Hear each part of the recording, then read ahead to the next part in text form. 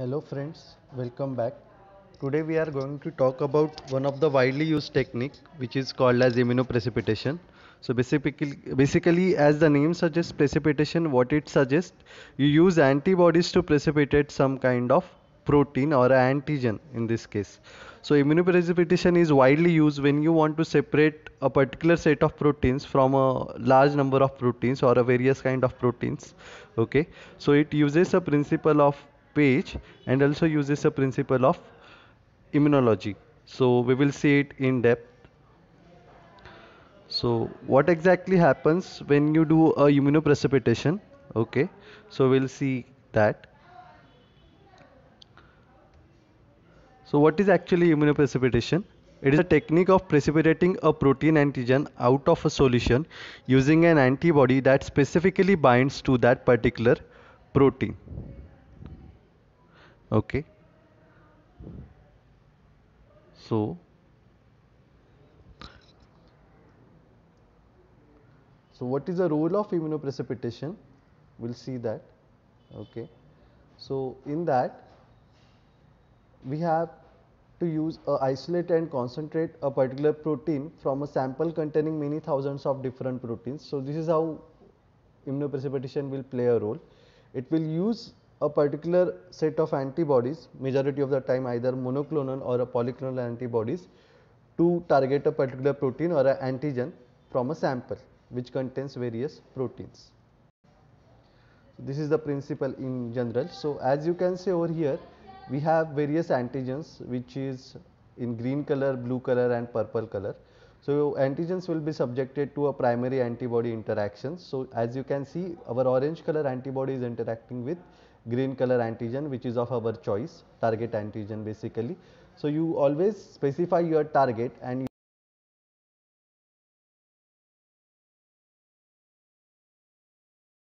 what happens you add your secondary antibody to it. So, once you add secondary antibody your antigen secondary antibody is bound to either agarose beads or a magnetic beads or agarose magnetic beads which I have explained in detail you know next slide okay? So your secondary antibody which is going to bind to your primary antibody which is in turn bound to a antigen of our choice. After that you wash off the excess of antigen okay? Sorry. And then you wash off the remaining antibodies also okay which were not bound to your primary antigen and uh, secondary antibodies you use the elution buffer. Majority of the time it will be mercaptoethanol okay? And then it will elute out your protein of interest or antigen of interest from your primary and secondary antibody. And then this will be run on a SDS page and this is the basic principle of immunoprecipitation. So use the antibody to precipitate the antigen and then separate it out on SDS page so what are the important points we should consider the use of antibody with high binding specificity and affinity for the antigen is crucial for a successful immunoprecipitation. So whichever antibody we are going to use, it should be highly specific and have a higher amount of affinity for the antigen of our choice. Antibodies raised against synthetic peptides and recombinant proteins often work well in Western blotting and but may not bind the antigen in their native conformation solution. So we have to play with the solution to avoid this mess. When we are using commercial antibodies, we should select particular antibody so that it should specifically binding to our antigen and we can confirm that using the product information. So we should recognize what are the proper antibody of our choice and what is the antigen or a target or a protein we are targeting how to improvise immunoprecipitation. So sometimes it happens like it is not working or uh, the antigen of our choice is not getting eluted out. So we have to play with some factors. So that is called as some kind of standardization. So what you can do you should always consider that your antigen concentration your primary antibody concentration and a secondary antibody concentration. So as you can see your antigen is uh, having least concentration. Your primary antibody is having more concentration than your antigen and your secondary antibody is having more concentration than your primary antibody and why this is important because if you have excess of primary antibody relative to secondary antibody, then there is a good amount of chance that primary antibody will form a complex with your antigen and that antigen antibody complex will compete with the secondary antibody resulting in a lower yield of recovery which we don't want. So when we use a polyclonal antibody an excess of primary antibody relative to the antigen will prevent the formation of oligomeric complex. Therefore, this concentration should be optimized by testing different ratios. So you have to take care of that. The concentration of your particular primary and secondary antibody should be more than your antigen. So as you have previously I have shown this like these were the beads which were bound to your secondary antibody. What kind of beads we could have?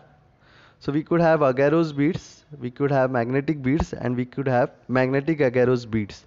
So what is the diameter of that approximately? Agarose beads diameter is 100 micrometer, magnetic 1.6 micrometer and magnetic agarose beads diameter is 50 micrometer. Then antibody binding capacity of that agarose beads is high, magnetic beads is low and magnetic agarose beads is high again. What is the likelihood of sample loss during the washing step?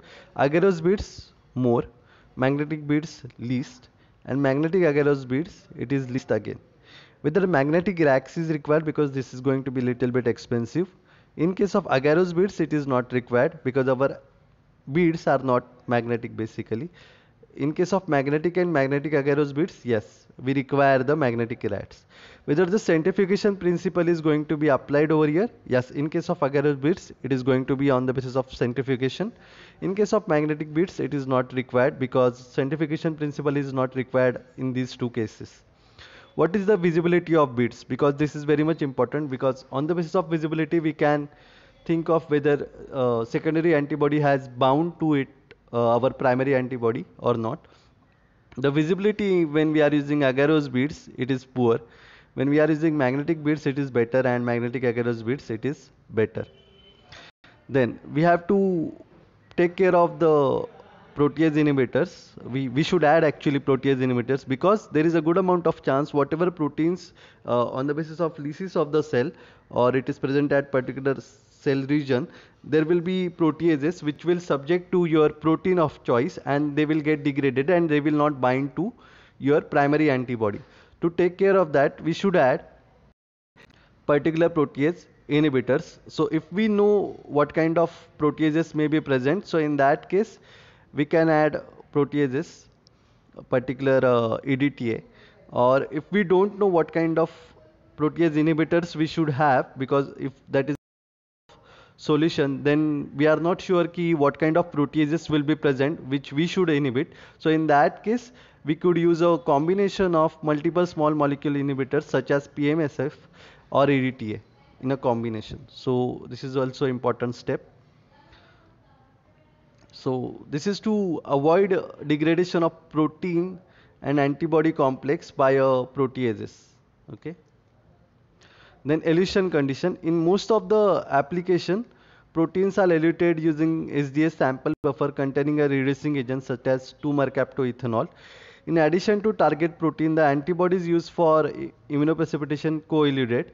So what exactly happens apart from your target protein, okay, antibodies which is bound to your target protein, they also get eluted out during this process. So we have to think of uh, Western blotting or mass analysis when we are considering this fact. So this is just a stepwise procedure. What exactly happens, I'm going to show you now. So this is the antigen primary antibody bind to it okay so you incubate your primary antibody add 500 microliter of protein extract and 2 to 10 microgram of the primary antibody to 1.5 ml tube this could be a Eppendorf tube also known as microcentrifuge tube incubate at 4 degrees celsius for 1 hour or overnight depending on your standardization protocol with a shaking on a rotator.